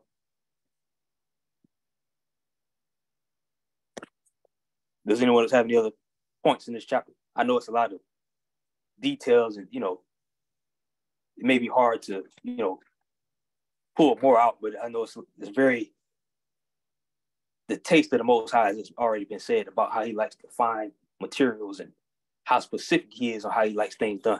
Uh, Ima Shoshana, floor is yours. You know, I'm just sitting here thinking about all the responsibility that um, was put on Moshe, that the Father trusted him with, with all this knowledge and all these instructions and all these people that he had to lead and guide and, and instruct and counsel and intercede for that alone one man I, I, I, oh my goodness, I, I just thinking about that is just, it's bewildering.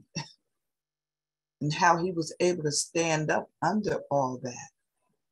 That the Father strengthened him. You know, each time you're in the presence of the Father, you you get more strength, you get more encouragement, you get more revelation, you get more knowledge and understanding. And oh my goodness, each time he went up there and when he came back down and his face was glowing, you can I can't imagine what how the people couldn't even want to be around him, knowing that he had spent that much time with the Father and come back looking like that. You know, and how the Father wants us to be like that. Oh, oh. oh I yell, I yell. Okay. And, th- and that's why they had, you know, um, delegation, as, as, as was said earlier. You had different duties and responsibilities with captains and officers, and because Moses' father-in-law gave him the instruction that if you keep doing the way you're going, that you and his people are going to wear out because one man can't deal with, you know, probably over a million people at one time. You know, that's why they had captains of hundreds and captains of fifties, captains of tens, and so on and so forth. King, king. Uh, Zach and Yaquab, floor yours. Okay, and, and just land back on on uh, Ima Shoshana also, um, you know, and and and that was a lot of pressure, and and he almost folded. Remember, he went to the Most High and said, "Look, if I if I got to keep doing all of this, I I'd be better off if I was dead." And you know, and the Most High told him to to bring uh, those those seventy elders and took some of Moshe's ruach, you know, and and put it on those seventy elders to help him out too. So you know, yeah, I can I can I can I can only imagine that that pressure and that responsibility and and you know that that Moshe had on him. And then you know this whole time in the wilderness, he he's, he's getting he's getting fed a lot of instructions, you know, that are meticulous, you know, and and so so I I I kind of I agree with with Ima Shoshana. That is that is that's a feat in itself, you know. All praises to the Most High, you know. The Most High strengthened him, and and when he asked the Most High for help, the Most High said, "Okay, yeah, I I I'll give you some help. Bring bring me uh, seventy of those elders that you that you uh, will vouch for, and I, I'll give them some of your ruach to help you out." you know, and and I put in the chat too that you know that that the way this tabernacle is is um constructed and and you know maintained too is is that tabernacle in all its glory it had to be mobile too. And and when the cloud moved, they had to they had to break that thing down kind of kind of quickly and and and you know move to another place. So I think a lot of those instructions had to do with it being durable and mobile also. I yield. Slika. Also, uh, Zakin, as you were saying about they took the anointing from Yah took the anointing off some of the anointing off of Moshe and put it on them. He didn't give them a separate anointing. He took it off of Moshe. That's some anointing. Okay, okay.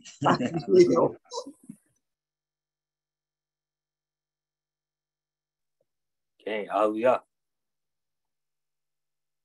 Adon Mikael, floor is yours. While we're talking about Moshe and and and all that the Most High did through him, you know, I'm starting to think back to you know, him being able to ascend into that hill, him being able to stand in that holy place. And I was thinking about, um, you know, Moshe didn't just leave from um, Pharaoh's house and go to this place with the Most High. There, this man had to go through some real serious work the Most High had to deal with him. So now my mind goes back to go, okay, now this man was up in Pharaoh's heart, being raised like Pharaoh's son, loving the best, having the best, esteemed all in Egypt. And now you being brought down, you being totally stripped. And you are actually running for your life. You are you are running out you know, into the wilderness somewhere and, and all the turns and the, the, the downward roads and the rough places and all these places this man had to go through to get to this place that we're talking about now, just him. Um, not only him, you know, having all this information and getting all this information, but him actually being put in the place to come up that hill and stand in that holy place before the most high. You know, it's like just my mind. I'm like, wow, you know, it because I'm just thinking about me. I'm like, you know, just day to day, you know, trying to walk this way and just things that I have to continue daily. I'm having to continuously die to myself, you know, and submit myself and be um slow to speak and be um quick to listen and be slow to anger when I'm being punched at or poked at it and, and that part of me, that old part that wants to rise up and having to bring all that stuff under by the, the help of the Ruach HaKodesh that abides within me, it's nothing to compare to what this man has gone through. And, and I don't, we, we see some of the things that he went through um, with his wife and with Miriam and with the people rising up, but it's not that intricate heart work that we can actually identify. But just as my mind began to think about him, this man went through some breaking because we are not, we are not going to be able to ascend. We're not going to be able to stand in the holy place outside of the most high doing some work in us. And I was thinking about in um chapter, I think it's like chapter 25, when we were talking about the different goals. In one translation, it talked about beaten, beaten gold. He said he wanted it to be beaten gold. And I was just thinking about, you know, just precious things, how it just has to be refined and it has to be fired up and it has to be cut down and chiseled and just very painful things, I will say for me at times. Um, so I'm just like thinking about Moshe and going, wow, there was some serious work going on in this man's heart. I mean, looking for direction for millions, at least a million people going and pleading and not getting an answer. I, I can't hardly take it sometimes when I'm pleading for myself and don't get an answer when I want it. Now you got a whole bunch of people, a million people at least, you pleading for and ain't getting no answers and having to be patient and having to wait and having to know which step to turn. A lot. So much to take in. I yield. Gang, hallelujah. It shows you how special of a man he was, you know. Um, not sure who was first between Ima Shoshana and Zakin. Uh, Ima Shoshana is, is got the floor uh, after uh, Adon. Okay, Ima Shoshana. Oh, uh, mm, I'm laying back on Adon Mikael. You know, um, I was reading in Proverbs today, and I come across uh, the scripture in um, the 16th chapter, and it says, A man's heart plans his way, but Yahuwah established his steps. Moshe steps were ordered by the Father from day one, as in all of us. We don't know what the Father has plans for us, the, the trials, the tribulations, the persecutions, the things we endure the Father is molding us and shaping us for the work that we have to go through. We can't know highs unless we've been in the lows, or we can't know the lows unless we've been in the highs. So he's experienced both aspects of it. And the Father had ordered his steps through this to mold him into the vessel he was. So it's the same with us today. As the Father's put examples for us of our ancestors.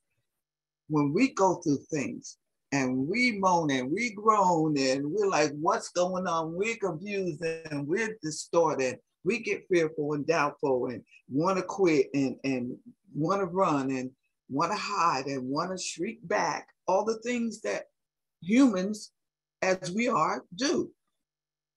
But those steps, all those actions, all those deeds, all those things, they're ordered by the Father to mold us, to shape us, put us through the fire, to, to make us come forth as the vessels he wanted us to do, just as he did with Moshe. And the anointing that was on him through his obedience, oh my goodness. If we can only achieve that, Father, help us. Just help us. I yield. Okay, throw it out for that. Hallelujah. Uh, Jacqueline, floor is yours. Okay, and, and I know this is it's, it's kind of uh, off the subject, the main subject, uh, you know, the, the meticulousness of, of, of the tabernacle and and all of that. But since we're talking about Moshe, you know, and in the book of Yashar, and the book of Jasher, you know, it talks about that time that he was away from Egypt. You know, at one point he reigned in Cush. You know, he when he went to battle, you know, he had he had uh he had men under him then too. You know, and and so like Ima Shoshana was saying that that you know the Most High, uh, you know, it, it ain't like he just snatched Moshe out the air. he he put Moshe through some things to to to get him ready to be uh, uh, uh, a Messiah to to bring Israel out of Egypt. You know, uh, he he had leadership. Um, he built up his leadership skills and his tolerance and and his his steadfastness and and all of that stuff while he was away from from uh Mitzrayim, you know, that time that he was away from Mitzrayim before the Most High called him back to deliver his his his people, you know. So so like Ima Shoshana was saying, man, don't don't you know don't just look at your life as as you know, man, I, I I'm um unfortunate or or or you know my life was was wasted and and you know the most high is is is infinite in his wisdom. And like like uh Ima Shoshana said the most high prepares us and shapes us to be vessels of his will you know and and and we can if you if you you know subscribe to Yashar and read some of the stuff that that Moshe went through while he was away from Mitzrayim when he fled Mitzrayim you know uh I think that was the most high shaping him too to, to, to do his job when he called him back to Mitzrayim to deliver his people. Okay, a lot happened between that time. You know, he also went to prison. You know, uh, for some years. You know, so just like we read about this, the extreme detail in these in the tabernacle, of the Most High is very detailed about our lives too. You know, each and every detail that sometimes we don't see, you know, somehow it works out in the end. Um, Shashamar, floor is yours. Yeah, I was thinking about um, you know, just the materials again, you know, the silver, the gold, and the acacia wood, you know, and all those things are durable. Even the fine linen, the fine linen is a, it's a lot different from cotton. It's more durable than cotton It's made from a, a flax, the flax plant, you know, it's also expensive. So all these expensive, you know, materials, they're different in their own way. You know, they're durable. And and I was thinking about they use these materials to build up the sanctuary, you know, for the most high to build up the ark. You know, they use the gold for the know, All these are things for the most high. And I was thinking about, you know, we, when we build things for the most high, you know, um, coming from a spiritual you know, physical. you know, When we study, when we put things, you know, in place in our own house for the Most High, are we putting, you know, it in place where it's, it's not going to go anywhere? You know, you know, are we do our studying habits? You know, are they bulletproof? You know, is it going to be? Is it something that we can rely on? You know, you know, our routines when we seek the Most High. You know, when we build these things up, you know, make a schedule, you know, or you know, just set a room apart in the house to seek the Most High you know, are we giving the most high the best is what I think about, you know. You know, are we setting it up in a way where it's unlikely to fall down, you know? Are you? Okay, hallelujah, that's a good point, you know. Uh, something that we all have to examine within ourselves, you know, are we do we offer the best? You know, do we offer the best quality to the Most High with the way that we seek Him, serve Him? You know.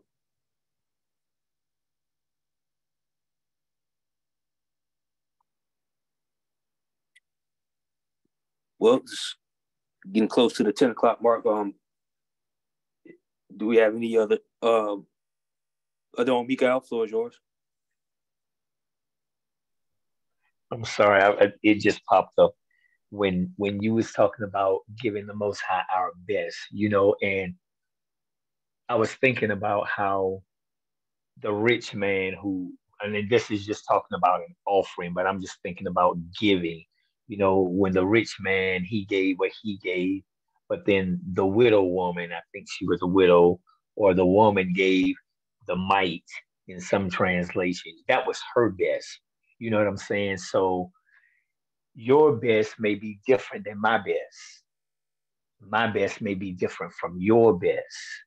And we have to walk in our best for the Most High. And so the way that helps me is that I don't look at your giving per se or or or somebody looking at my giving. I just keep my eyes on the most high and understands what he's requiring of me to give my best. Um, because all of our best to the most high is going to look different.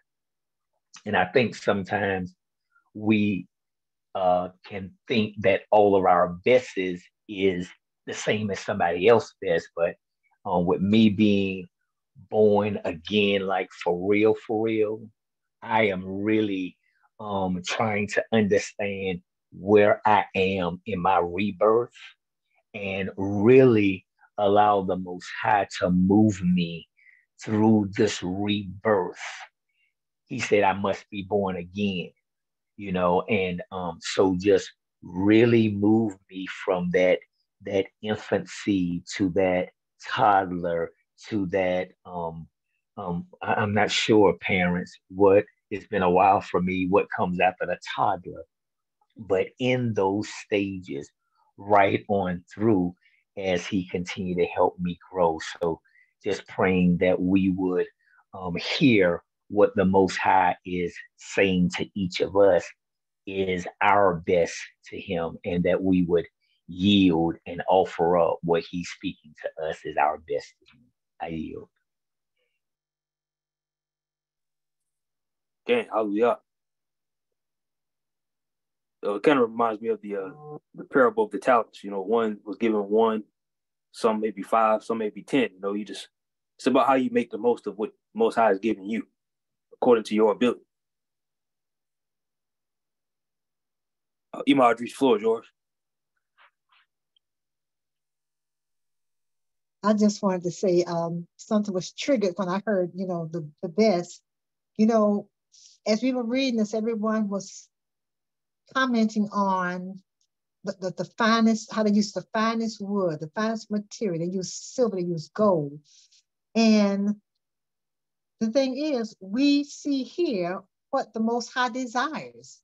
And if that's what he desired for the ark, then we should know what he desires from us as well. And we have to ask ourselves, are we giving him our very best? And I know I'm reiterating what someone else already said, are we giving him our first fruit? Are we giving him our finest? And when we when I think about Moshe, I know that he would never use me in the same capacity that he used him. But there's a possibility that he could use me on a smaller scale to do something else. We have to ask ourselves, can we measure up? Are we preparing ourselves by getting in this word, by praying daily, what have you? Are we keeping ourselves clean and pure so that we can be used by him? And we have to ask ourselves, you know, daily, you know, you know, all our steps and what is it you'd have me do? I yield. Okay, hallelujah.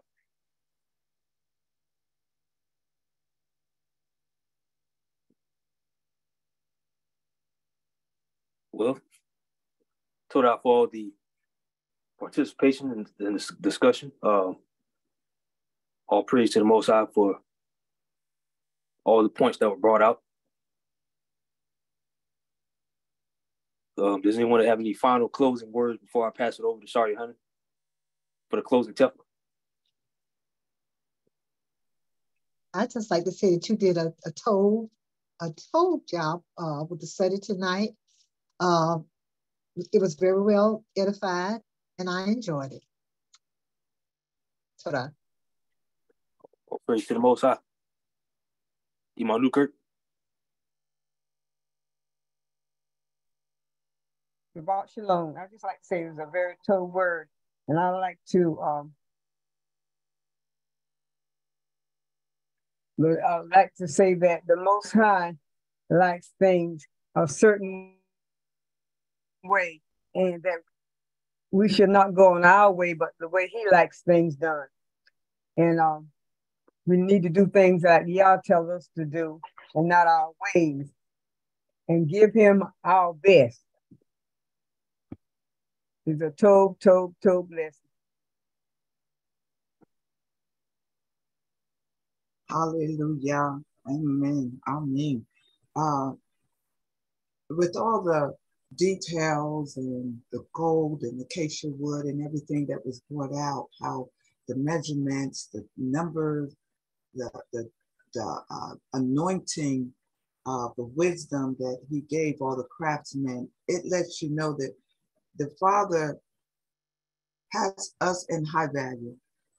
All these valuable things that he is using and showing us how he values us, that we are like this gold and this silver and and the number of things and how much he loves us and wants us to be in the image of his son in the likeness of them both. And this this was a whole lesson to put us in remembrance and to give us a mindset of where our focus should be.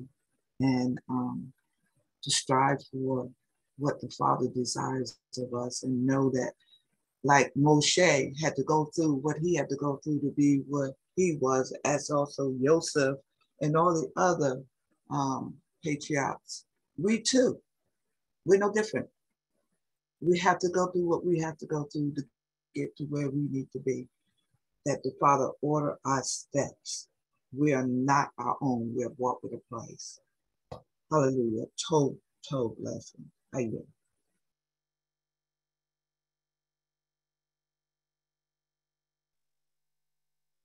Hallelujah.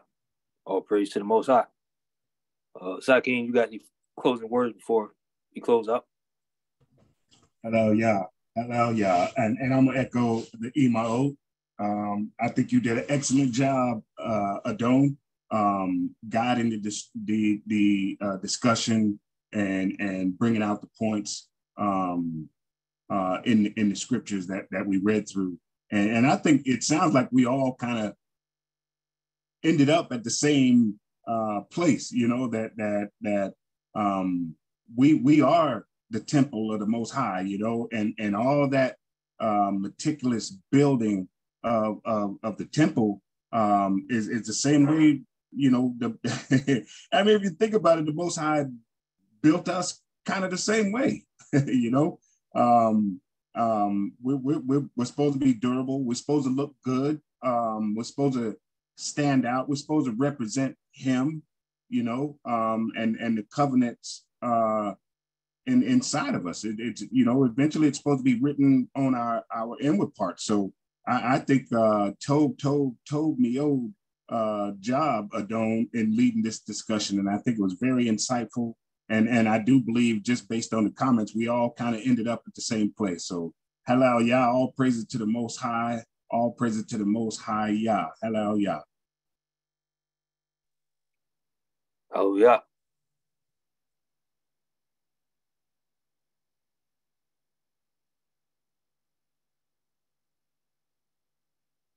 All right. Uh, sorry, Henry, are you in position to close us out?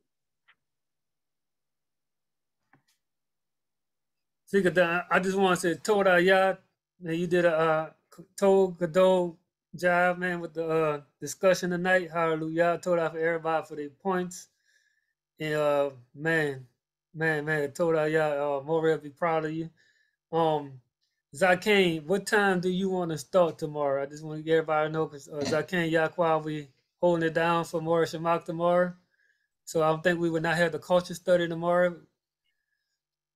Um, um, we can we can start at um at our regular time to 1230. Um, I did have planned for um some some Hebrew reading during that cultural portion. We'll just cut that short and extend the uh, praise and worship, if that's told. That's up to you, as I can. You got the show tomorrow, so wherever you need, I can. We'll support. Kane, I say I say we started this at our normal time, twelve thirty. Kane, Kane, Kane. Uh, Toda yeah again for you all. Um, we'll be on at twelve thirty in, in, the afternoon. Um, may the Most High be y'all, get y'all some rest. Uh, Adon Mikael, you don't mind closing out Tefillah for us if you're in position?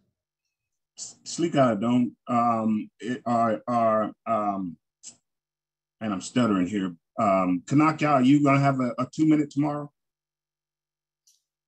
Yeah, I, I should have one. Yeah, okay. Okay, con, con. Yeah, so 1230, 1230 is told. Okay, okay. All right, Don, Mikael, you have the flow to close out. Okay.